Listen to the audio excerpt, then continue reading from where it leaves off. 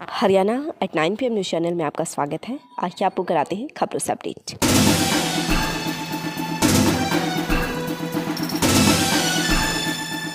Haryana eight nine P news channel में आपका स्वागत है। आज आपको कराते हैं? खबरों से अपडेट केएमपी पर भयंकर हादसा, पाँच की मौत।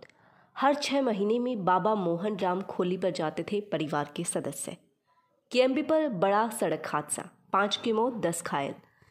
सोमवार को कुंडली मानेसर पलवल एक्सप्रेसवे पर गाँव पाई के पास हुए एक भीषण सड़क हादसे में तीन महिलाओं सहित पाँच लोगों की मौत हो गई है, जबकि गाड़ी में सवार अन्य करीब दस लोग भी घायल हैं।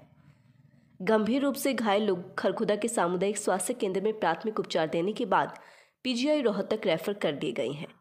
जानकारी के मुताबिक करीब चार परिवारों के 16 सदस्य, जिनमें दो बच्चे भी शामिल हैं रविवार की शाम को करीब तीन बजे यूपी के उक्सिया गाँव से बाबा मोहन राम के खोली धाम राजस्थान में गए थे। सभी सोमवार को धोख लगाने के बाद वाया केएमपी के रास्ते अपने गाँव आ रहे थे।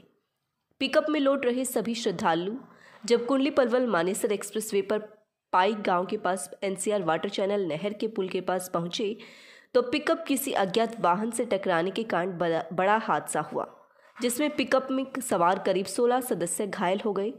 सड़क दुर्घटना में पिकअप का एक हिस्सा टूटकर सड़क पर जा गिरा।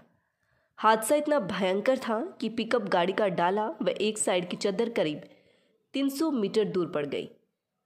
तीन महिलाओं सहित पाँच लोगों की मौत हो गई है। ट्राला चालक मौके से फरार है, जबकि पिकअप गाड़ी का ड्राइवर भी मौका पाकर फरार हो गया।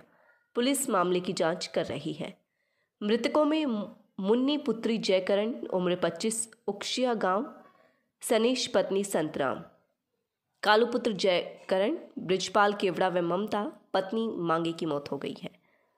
एक बच्चे सहित आठ को रेफर किया गया है। बाकी का मामूली चोट आई है। जो व्यक्ति ड्राइवर के पास बैठे थे, वे सुरक्षित हैं। लगातार खबरों से अपडेट रहने के लिए देखते रहिए। Haryana eight nine P news channel नमस्कार।